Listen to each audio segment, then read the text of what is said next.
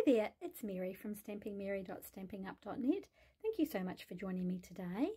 Today's card is a pretty quick and simple one using the hand-drawn dots stamp set from Stampin' Up.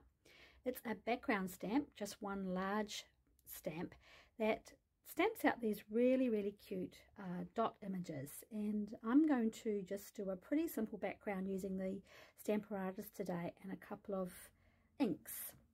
Um, so let, I'm using uh, Night of Navy as my background and Daffodil Delight and Balmy Blue.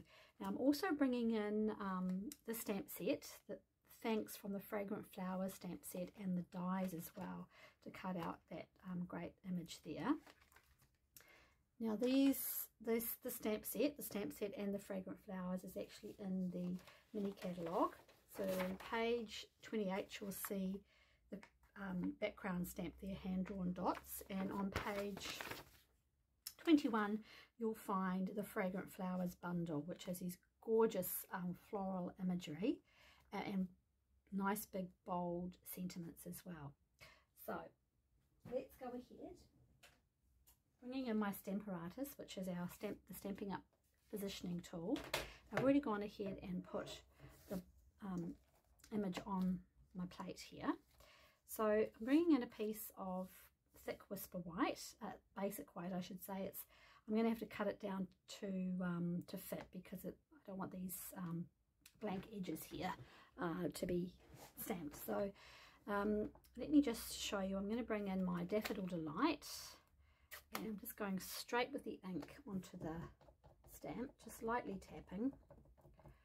I'm going to do a little bit more I think on this one. I might it's probably going to be a bit of an overlap there the balmy blue. What's really cool though is that we can go back over if I don't like the colour.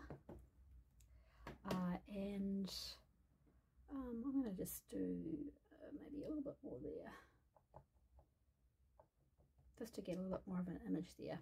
What would be really neat is if you stamped onto um, a watercolour sheet here, if you spritzed your stamp right there, with the ink on it, you'd get a really neat watercolour effect, but we won't do that today because we're just going for quick and simple.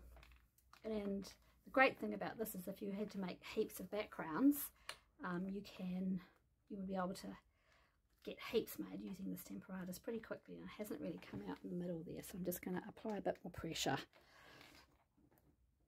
Yep, that's okay. See, I've got a little bit of a, I've done a two-tone there, which is okay. And I'm just going to trim these pieces here off. The trimmer.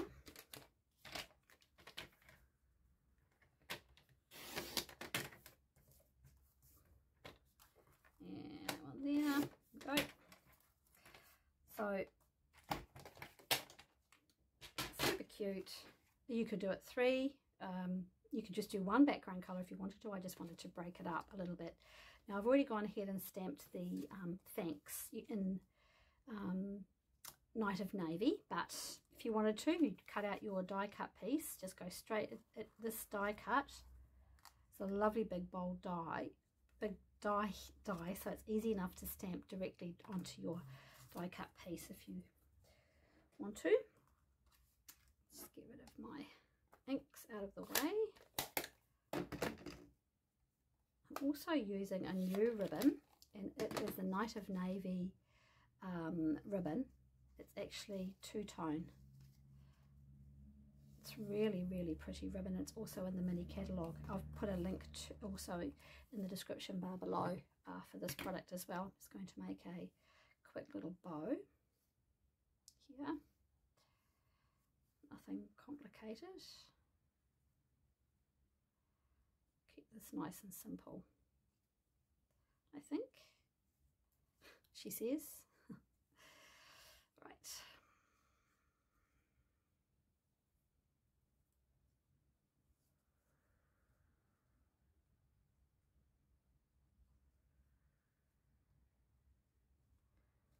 I just find it easier to put a staple in there just to keep it all together.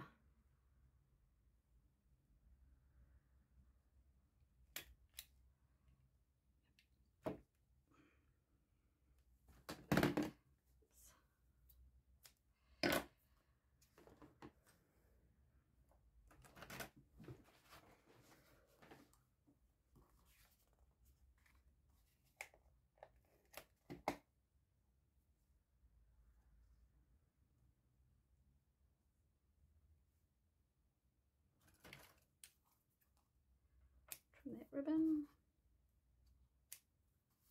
My sentiment's going to go there.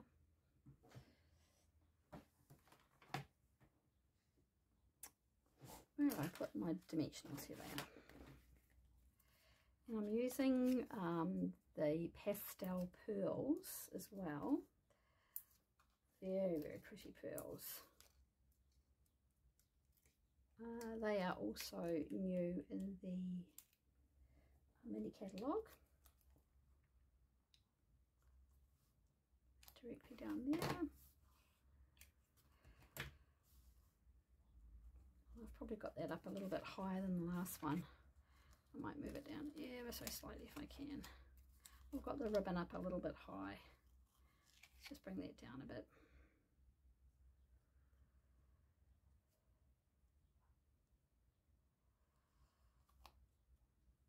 That's better.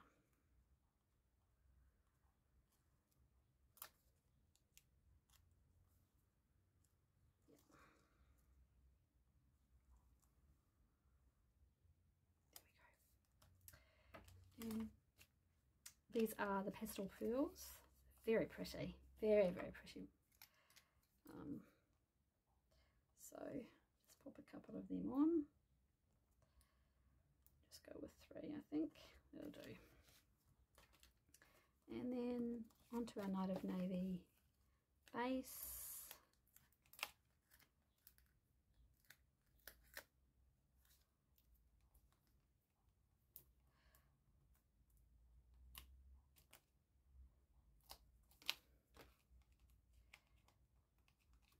See, come off there. These dimensionals, sometimes the cover, they don't want to come off right.